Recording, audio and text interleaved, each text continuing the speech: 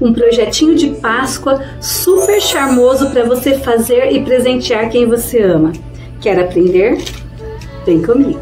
Olá, oncinhas bordadeiras! Eu sou a Cristina Castanheira. Sejam bem-vindos ao Ateliê Toca da Onça.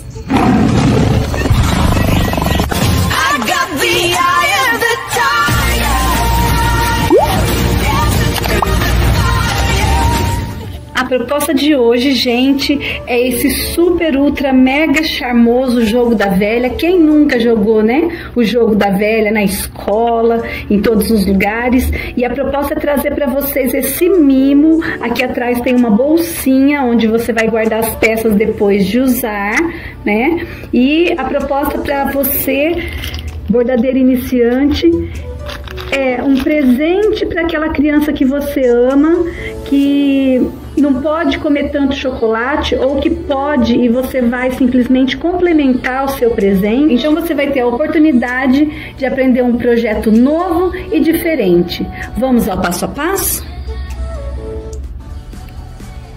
Bem, oncinhas, para começar eu vou mostrar os cortes de tecido e feltro para vocês. Então, nós vamos começar aqui em cima. Para a cabeça, nós vamos precisar de um corte de feltro de 20 por 15. E para os bolsos, são dois pedaços, um de 15 por 15 e um de 8 por 15.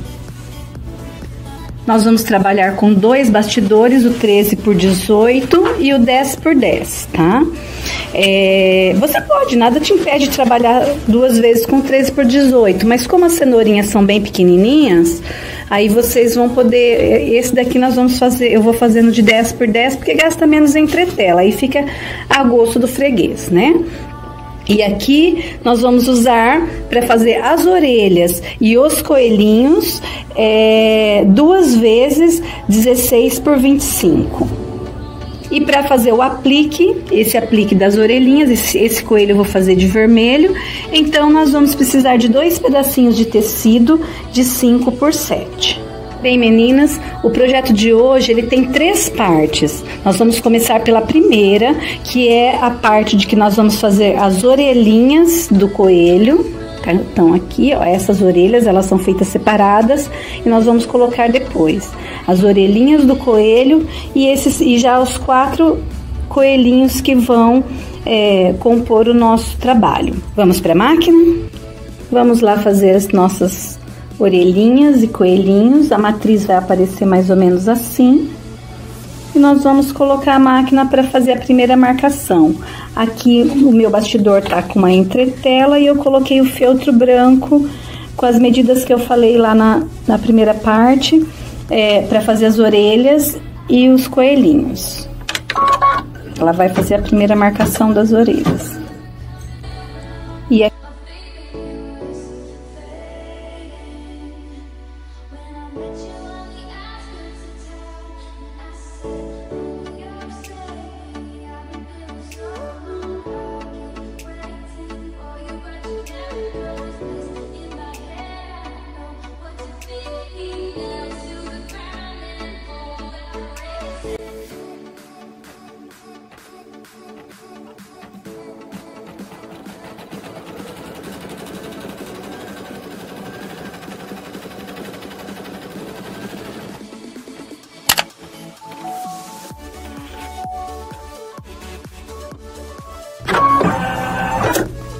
Agora nós vamos tirar do bastidor e recortar o aplique.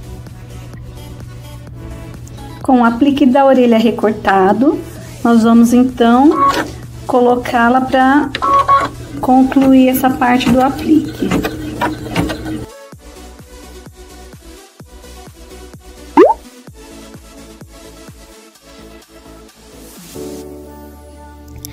Siga-nos nas redes sociais, vou deixar o nome de todas elas passando aqui na tela.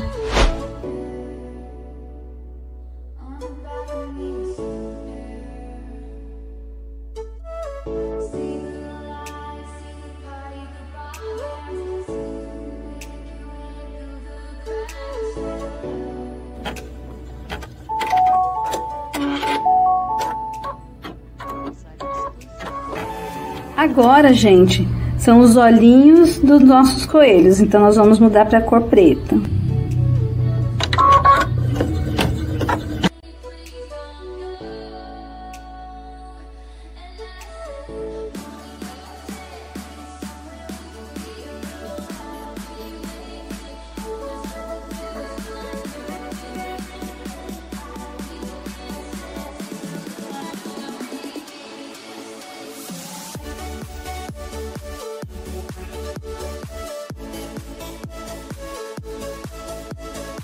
Alguns momentos depois. Gente, o narizinho e a orelha do coelhinho eu costumo fazer da cor que eu tô fazendo o kit. Né? Mas nada impede que você faça da cor que você quiser. Eu gosto de fazer combinando para ficar bonitinho. É uma questão de gosto.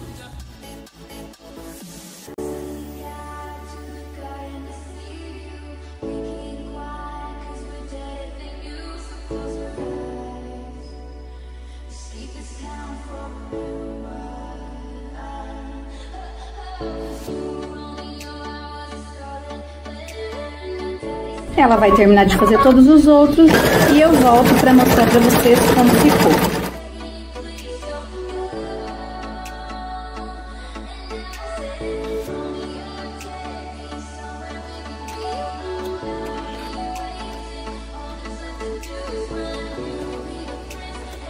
Gente, agora é a última fase dessa matriz dos coelhinhos das orelhas.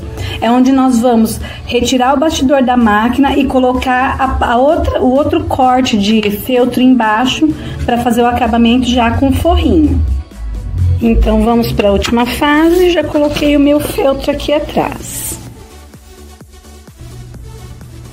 Então ela vai para a última parte da matriz. Dica importante, pulo da onça. Nessa hora, meninas, coloquem a linha de baixo da mesma cor da linha de cima, para ficar um acabamento legal embaixo, tá bom?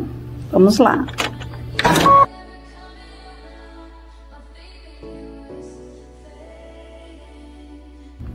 Terminada então a primeira matriz, são três matrizes, né?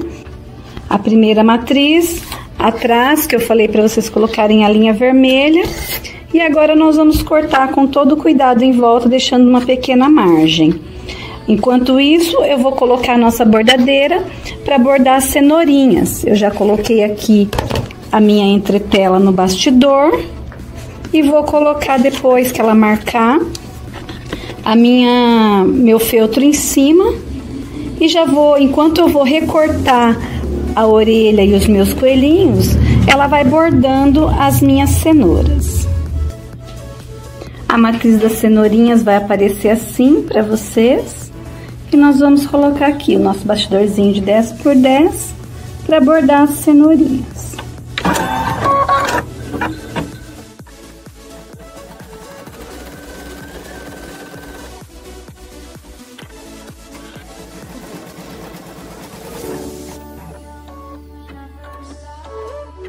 E assim vão ficar as nossas cenourinhas. Eu vou deixar ela bordando e mostro para vocês quando ela parar. Meninas, nessa fase fez os risquinhos amarelos, nós vamos tirar o bastidor e vamos colocar a, a parte do forro embaixo antes de bordar as folhas.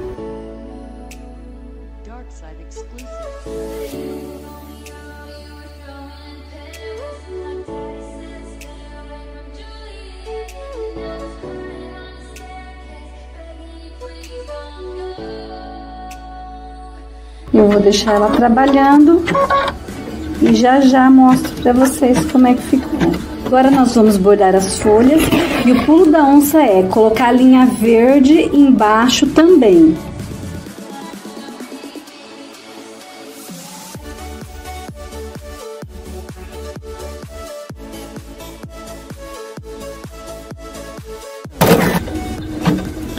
E a última fase, ele vai fazer o contorno do verde em todas as cenourinhas.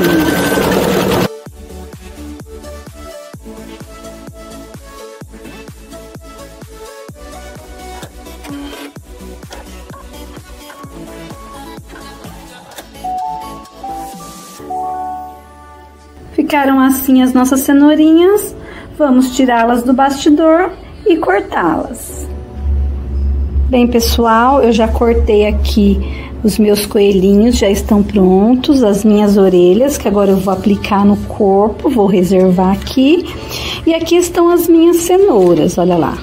Vou arrematar direitinho e enquanto eu corto as minhas cenouras, eu vou fazer então a parte do rosto do coelho, que é essa daqui, né? Eu vou fazer no vermelho, mas é essa parte aqui. Vamos fazê-la agora. Vamos lá para a máquina. Vamos para nossa última matriz. É essa daqui, vai aparecer assim a sua bordadeira a entretela e já coloquei o feltro em cima e ela vai fazer a primeira marcação.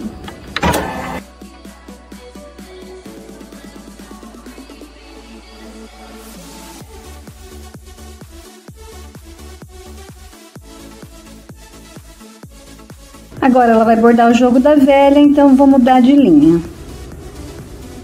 Bora bordar o jogo da velha.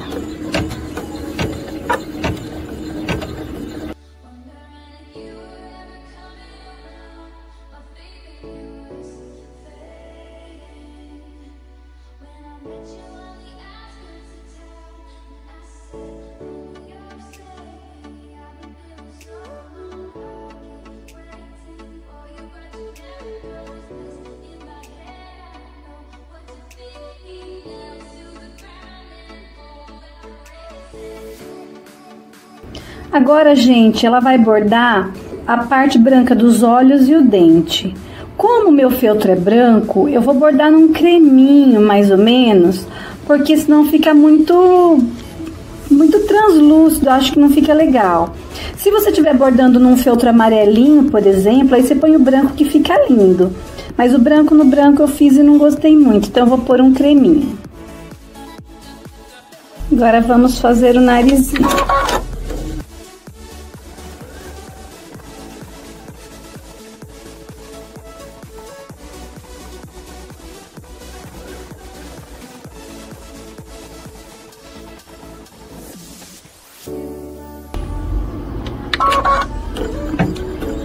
Bigodes.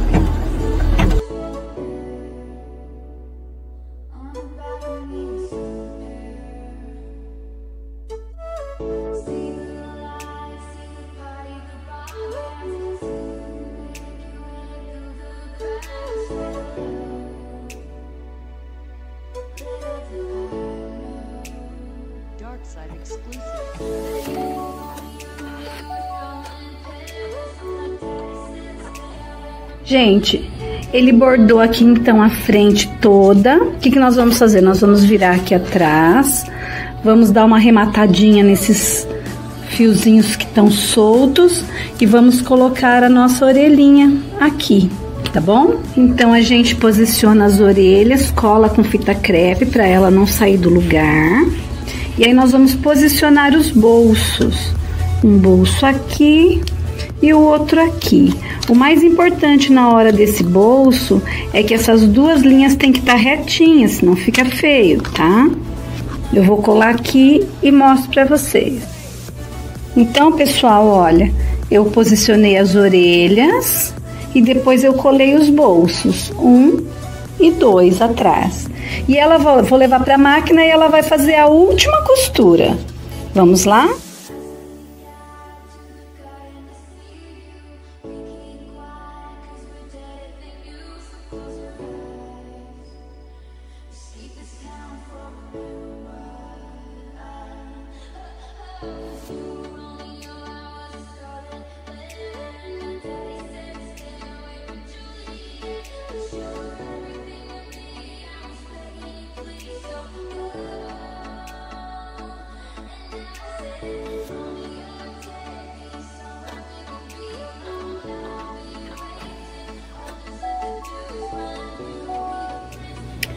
Bem, oncinhas, terminei aqui, vou tirar o meu bastidor.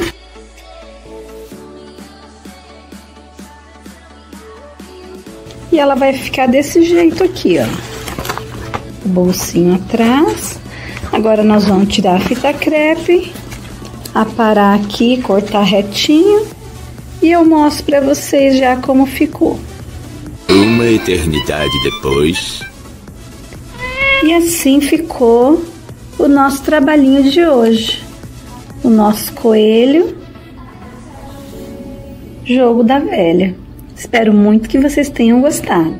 Deixa seu like para incentivar a gente a trazer mais é, projetos para vocês. Eu vou deixar o link das nossas redes sociais aqui embaixo.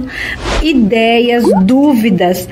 É só entrar no nosso grupo particular lá no, no, grupo fechado do Facebook que a gente conversa por lá. Um beijo e eu vejo vocês no próximo vídeo. Tchau!